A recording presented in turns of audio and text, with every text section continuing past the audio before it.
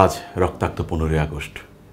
উনিশশো পঁচাত্তর সালের এই দিনে সর্বকালের সর্বশ্রেষ্ঠ বাঙালি জাতির পিতা বঙ্গবন্ধু শেখ মুজিবুর রহমানকে ধানমন্ডির বত্রিশ নম্বর বাড়িতে নির্মমভাবে হত্যা করা হয়। শুধু বঙ্গবন্ধুকেই নয়, সেদিন বঙ্গবন্ধুর সঙ্গে তার পরিবারের অধিকাংশ সদস্যকেই নির্মমভাবে হত্যা করেছিল বিপদগামী ঘাতকের দল। যারা বাংলাদেশে বিশ্বাস করেনি, বঙ্গবন্ধুর রাজনৈতিক আদর্শে বিশ্বাস স্থাপন করেনি, তারাই চক্রান্ত করে বঙ্গবন্ধুকে নির্মমভাবে হত্যা করেছিল।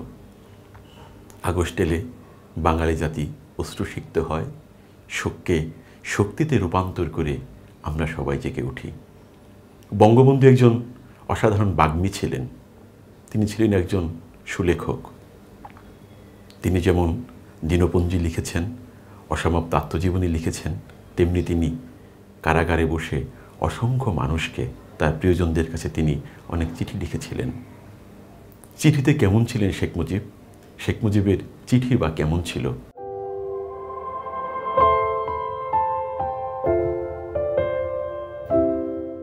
উনিশশো আটান্ন সালের বারোই নভেম্বর তিনি তার পিতাকে একটি পত্র লিখেছিলেন।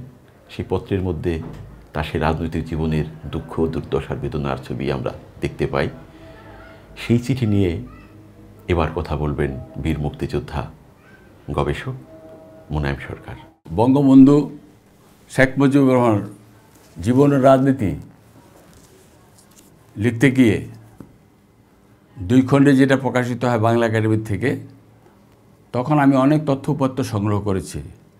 সে তথ্যপত্র সংগ্রহ করতে গিয়ে আমি প্রথমে বঙ্গবন্ধুর উপর সতেরোটা পুলিশ ফাইল আমি আবিষ্কার করি।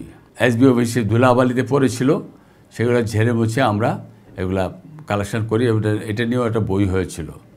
তো আমি আমার এই বঙ্গবন্ধুর জীবনী গ্রন্থেও কিছু কিছু ইম্পর্টেন্ট চিঠি আমরা যুক্ত করেছি।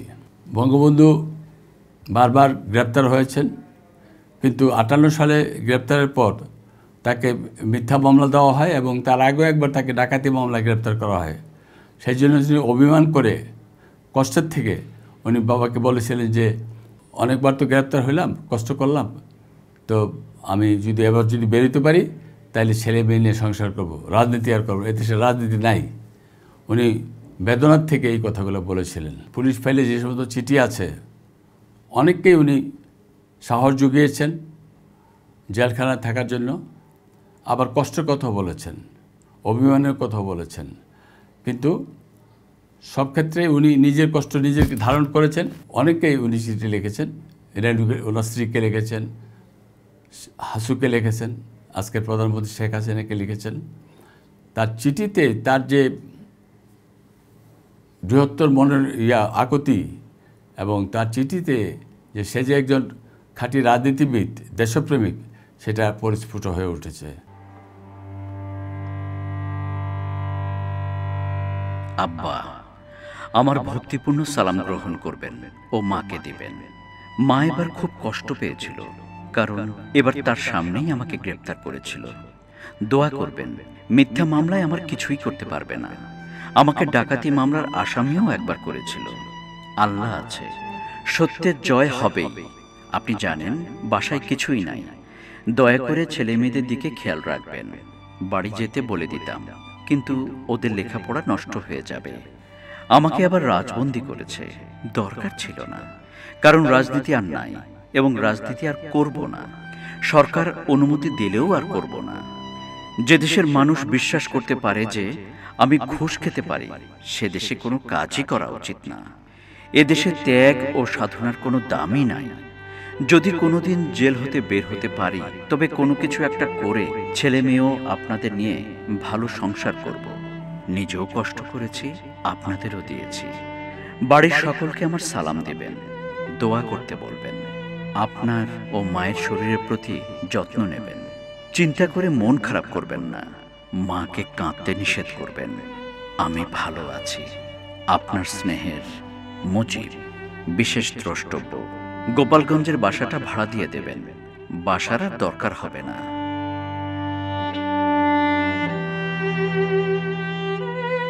উনিশশো আটান্ন সালে বঙ্গবন্ধু তার পিতাকে যে চিঠিটি তিনি লিখেছিলেন, সেই চিঠির মধ্যে আমরা দেখেছিলাম তার অনেক দুঃখের ছবি, অনেক বেদনার ছবি তিনি প্রকাশ করেছেন তার সেই লেখনীর মধ্য দিয়ে।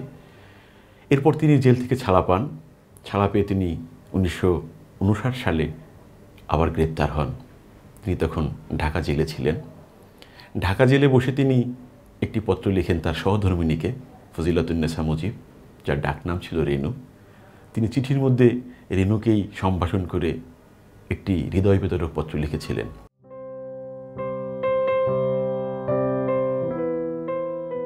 রেনু আমার ভালোবাসা নিও। ঈদের পরে আমার সাথে দেখা করতে এসেছ। ছেলে মেয়েদের নিয়ে আসো নাই। কারণ তুমি ঈদ করো নাই। ছেলে মেয়েরাও করে নাই। খুবই অন্যায় করেছ।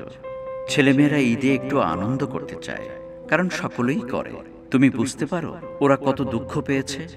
আব্বা ও মা শুনলে খুবই রাগ করবেন। আগামী দেখার সময় ওদের সকলকে নিয়ে আসিও। কেন যে চিন্তা করো, বুঝি না।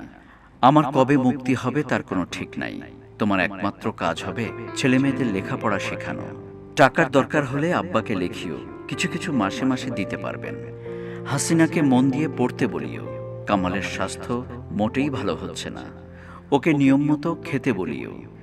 জামাল যেন মন দিয়ে পড়ে আর ছবি আঁকে। এবার একটা ছবি এঁকে যেন নিয়ে আসে, আমি দেখব। রেহানা খুব দুষ্টু। ওকে কিছুদিন পরে স্কুলে দিয়ে দিও জামালের সাথে। যদি সময় পাও, নিজেও একটু লেখাপড়া করিও। একাকী থাকতে একটু কষ্ট প্রথম হতো। এখন অভ্যাস হয়ে গেছে, কোনো চিন্তা নাই। বসে বসে বই পড়ি। তোমার শরীরের প্রতি যত্ন নিও। ইতি তোমার মুজিব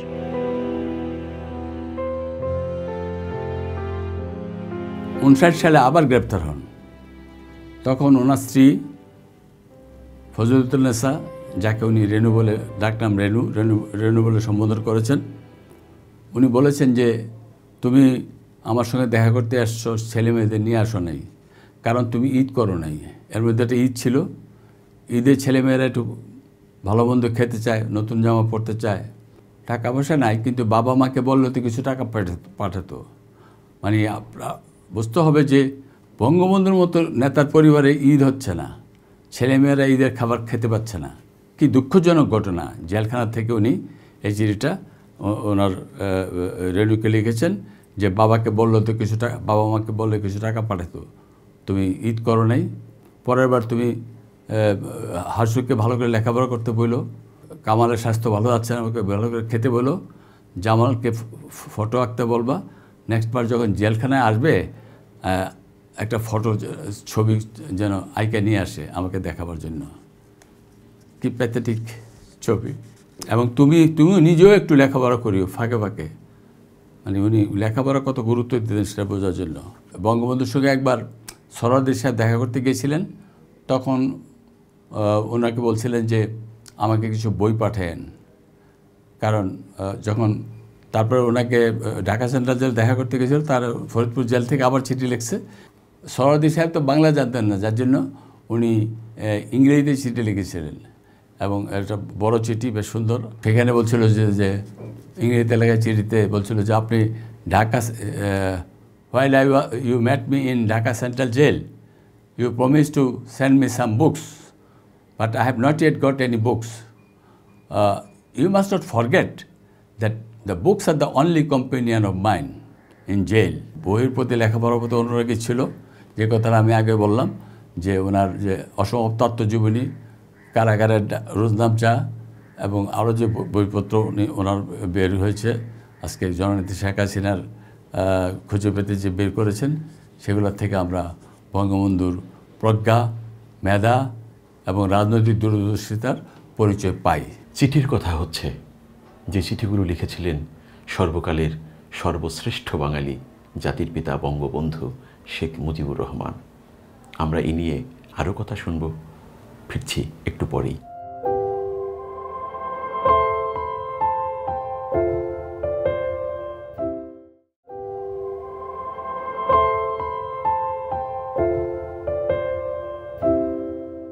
উনিশশো ছেষট্টি সালের জুন মাসে বঙ্গবন্ধু তার বাঙালির মুক্তির সনদ ছয় দফা ঘোষণা করেছিলেন।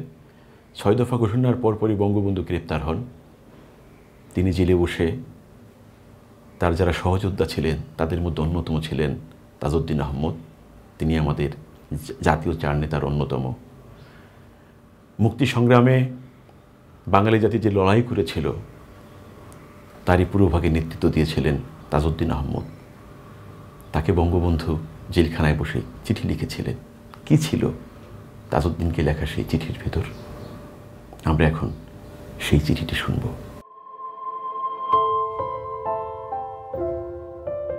স্নেহের তাজউদ্দিন, আমার স্নেহ ও ভালোবাসা নিও কেমন আছো? খবর জানি না, আমাকে খবর দিও। চিন্তা করিও না, সকলকে সালাম দিও। শরীরটা বেশি ভালো না, তবে কেটে যাচ্ছে। তোমার শরীরের প্রতি যত্ন নিও ইতি তোমার মুজিব ভাই।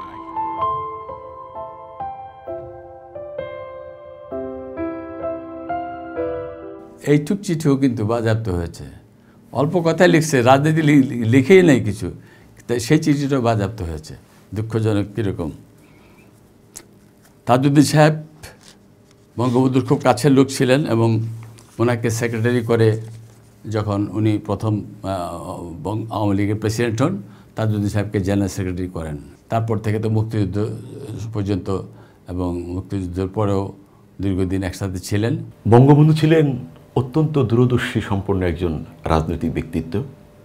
তিনি যেমন নিজেকে বিশ্বের মাঝে ছড়িয়ে দিয়েছিলেন, তেমনি তিনি চাইতেন তার পরিবারের পরিজনরাও যেন সারা পৃথিবীর মানুষের জন্য কোনো কল্যাণকর কাজ করতে পারে। তারাও যেন রাজনীতিতে শিল্পী, সাহিত্যে, সংস্কৃতিতে ঋদ্ধিমান হয়ে ওঠে। সেই চেষ্টা তিনি সবসময় করতেন। জেলের মধ্যে বসে থেকেও বঙ্গবন্ধু তার পুত্রকন্যাকে তিনি নিয়মিত চিঠি লিখতেন, তাদের খোঁজ খবর নিতেন। আজকের বাংলাদেশের মাননীয় প্রধানমন্ত্রী জননেত্রী শেখ হাসিনাকেও তিনি জেলখানায় বসে চিঠি লিখেছিলেন।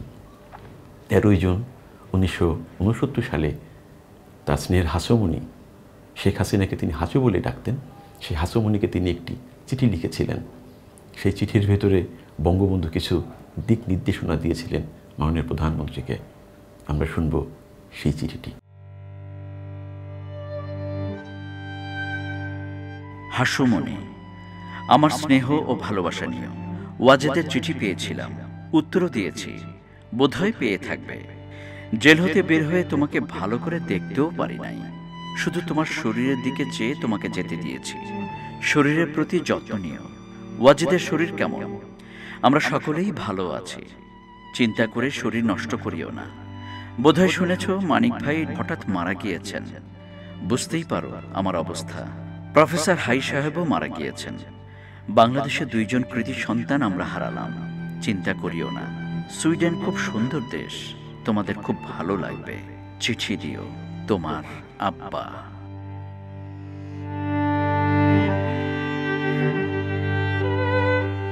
বঙ্গবন্ধুর বড় কন্যা হিসাবে শেখ হাসিনাকে বঙ্গবন্ধু খুব স্নেহ করতেন এবং হাসুমণি বলে ডাকতেন। তো বঙ্গবন্ধু দুই কন্যার বর্তমানে খুব ব্যতীত ছিলেন এবং খুব ব্যতীত চিত্তে এই চিঠিটা লিখেছেন।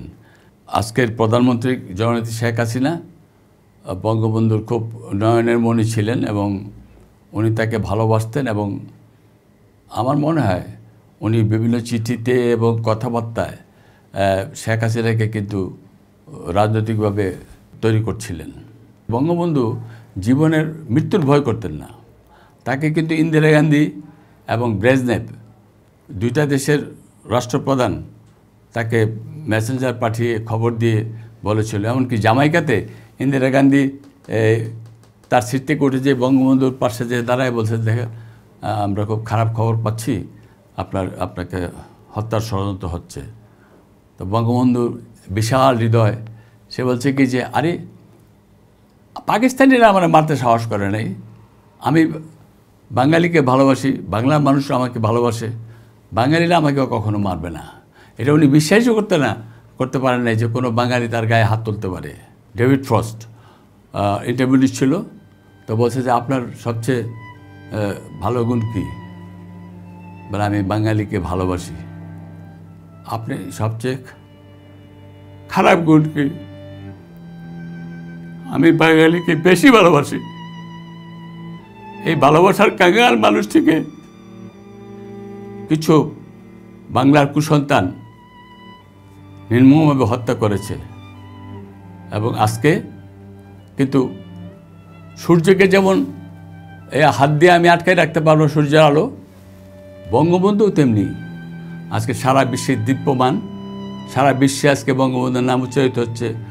আজকে বঙ্গবন্ধু সাতই মার্চের ভাষণ বিশ্ব ঐতিহ্য অন্তর্ভুক্ত হয়েছে এবং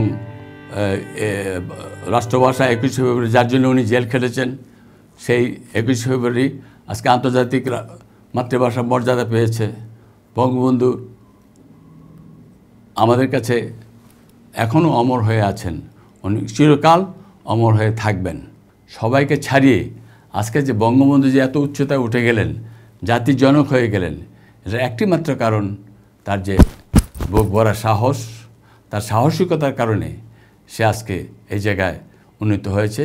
আজকে বঙ্গবন্ধু শুধু বঙ্গবন্ধু নয়, আজকে উনি বিশ্ববন্ধু হিসাবে খ্যাত এবং বিশ্বব্যাপী পনেরোই আগস্ট পালিত হচ্ছে।